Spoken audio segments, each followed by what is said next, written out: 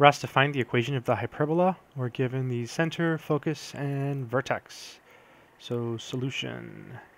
So let's try to draw a picture and figure out what's going on. I'm going to try to make the picture really, really big. So let's see, there it is. It's Wow, that's huge. Okay, and then there's the x-axis. All right, so the center, let's plot that first. So 5, negative 8, so maybe that's here. So this will be 5, negative 8. Okay, and then the focus or the vertex, that's going to come first. Maybe that's over here.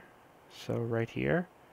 So that'll be 8, negative 8. So 8, negative 8. And not drawn to scale, but I'll put it way over here just so it's easy to read. This would be the focus, right? Because um, it, will always open towards towards the focus, and that's the vertex. So this will be 9, negative 8. So we can get some stuff from this picture. Um, A is going to be this distance here. So A will be 3. And this distance here is going to be C. So C will be 4. So A is 3, C is 4. We just need to find B and then we'll finish, right? Because the formula is going to have an A squared and a B squared in it.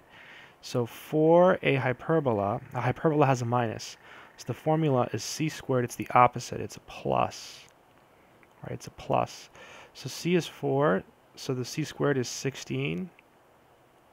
And then a is 3. So a squared is 9 plus b squared. If you subtract 9 from both sides, you get 7 equals b squared. Okay, now let's carefully finish this problem. So, oops, I couldn't see the center. So the center is 5, negative 8, so I'll leave the screen there. So this is x minus h squared, and it opens left and right, so the x comes first, over a squared, minus y minus k squared over b squared equals 1. So now we'll carefully plug everything in.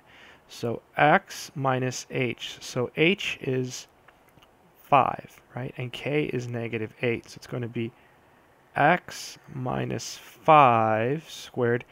a squared is 9 because a is 3. So you get 9 minus, and then y minus negative 8. So it's y plus 8.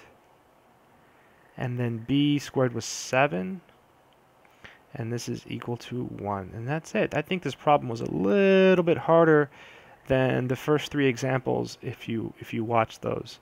I hope this helps.